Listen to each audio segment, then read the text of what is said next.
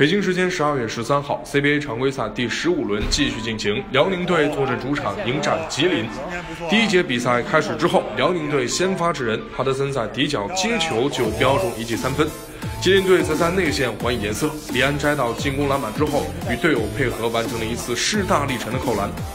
次节再战，韩德君强打内线，游戏区面对兰德里自攻自抢摘下进攻篮板，一个回合便斩获了两分一板。这边韦弗宝刀未老，顶湖连续变向后直杀篮下，化身韦弗王轻松打进，似乎是梦回巅峰。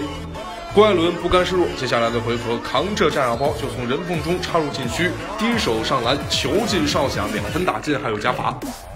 吉林队张彪杀入内线，转身戏耍四名防守队员，不看人将球塞给兰德里，助攻兰德里轻松放篮。半场结束前，比分被吉林扳平。只见哈德森人群中杀出，对抗之后直面篮筐出手，又是一个二加一，为球队拉开比分。这才是哈德森在最后时刻站在场上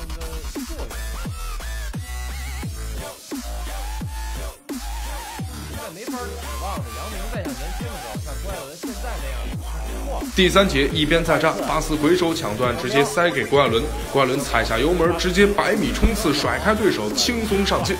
辽宁队就此打出一波流，随后丛明晨在快攻中突分扔给外线哈德森，后者手起刀落，又是一枚三分进账。外线哈德森破外，终于进投进了。吉林队慌乱中叫下暂停，意欲止住丢分势头。暂停之后，韦弗无视五人防守，大跨步踩进内线，与兰德里打成配合。眼看吉林队又要迫近比分。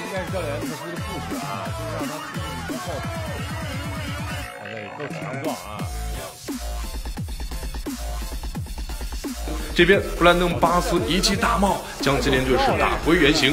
兰德里随后强打内线，用个人能力看准韩德君就上。韩德君张手欲防守，无奈却被兰德里打成了二加一。没有用他的一个原因，呃，他在防守端很容易被对手针对，呃，造成这种二加一的情况，所以他根本就没走位啊！你看，他就站在这儿呢，但是呢，对手往你身上一靠。为让韩德君找回颜面，哈德森又一次加足马力杀入游戏区，骗开防守，塞给韩德君。韩德君放篮也骗到犯规，回应了一个二加一。第四节开始，郭艾伦两度突破如入无人之境，吉林队彻底放弃防守，至此比赛失去悬念。辽宁最终以一百一十六比一百零八轻取吉林。腾讯体育综合报道。